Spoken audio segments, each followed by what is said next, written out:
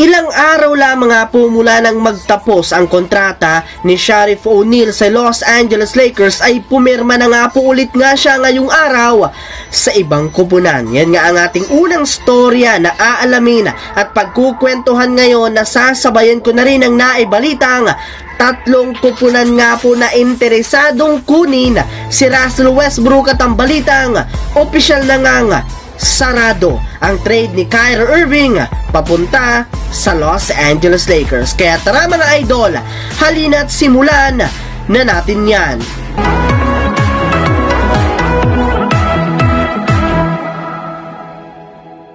Mga idol, bago nga tayo magsimula dito sa ating pinakabagong video ngayong araw, ay isang malaking shout out muna sa lahat ng Solid J Zone TV, especially kina Joel Ricoyo, kay Gistoni Evangelista at kay Mark Davin Sagad. Siyempre, bisitahin, i-follow nyo na rin at i-like ang ating Facebook page J-Zone TV. Mag-subscribe at pindutin ang notification bell sa akin channel para lagi kayong ma-notify sa mga videos na ina-upload ko. So yun lamang mga idol, tara, halina't ipagpatuloy na natin yan.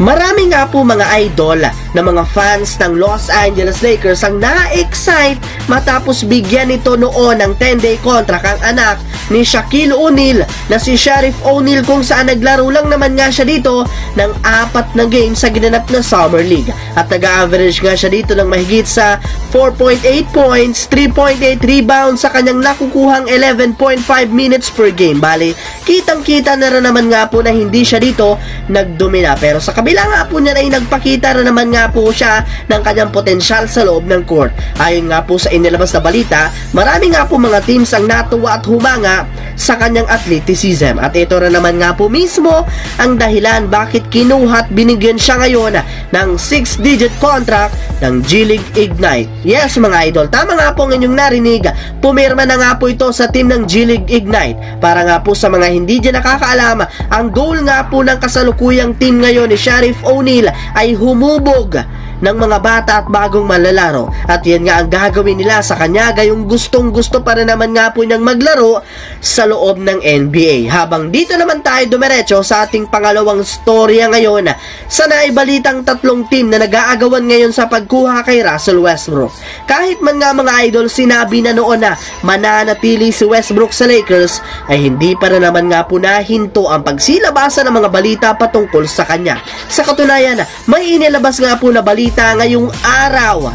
Si Sham Saranya ng The Athletic na mayroon nga pong tatlong kupunan ang nag-aagawan sa kanyang serbisyo. At sila nga po ay ang kinabibilangan ng mga teams ng Utah Jazz, New York Knicks at Indiana Pacers. Bagamat man nga po hindi ganon kaganda ang naging laruan ni Westbrook last season, samahan mo pa ng napakalaki nitong kontrata ay willing para naman nga sila na kunin ito sa isang trade basta't makasungkit lamang sila ng at least dalawang future draft pick. Bale, magagamit pa rin naman nga po nila sa Westbrook bilang scorer at playmaker. Sadyang kailangan lamang nga pong pababain ang kanyang ginagawang pagkakamali sa loob ng court upang sa ganoon ay mas mapakinabangan nila ito ng husto sa kanilang prangkisa. Samantala, pumasok naman tayo dito sa ating huling storya sa balitang Opisyal na nga mga idol na sarado ang trade ni Kyrie Irving papunta sa Los Angeles Lakers. Matapos lamang nga po mga idol aminin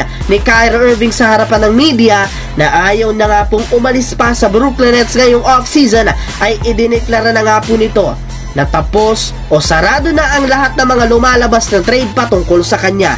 Yes mga idol, tama nga po inyong narinig, hindi na nga po matutuloy pa ang pinakainaabangan sana ng mga fans ngayon na pagpunta ni Kyrie Irving sa Los Angeles Lakers at pagre-reunite niya kasama ang kanyang dating teammate na si LeBron James. Kaya marami na nga po mga fans ng Lakers ang nadismaya talaga ng gusto gayong hindi nga po nila makikita si Irving na maglaro sa kanila. Ngunit wag naman nga po kayong mag-alala dahil kasabay nga po ng pagsarado ng trade ni Kyrie Irving ay siya naman nga po ang pagbukas ng bagong gagawing trade ng kanilang team. Marami para naman nga pong natitirang superstar na available ngayon sa trade market kaya hindi nga po magiging problema sa Lakers ang hindi nila pagkuha kay Kyrie Kyrie Irving.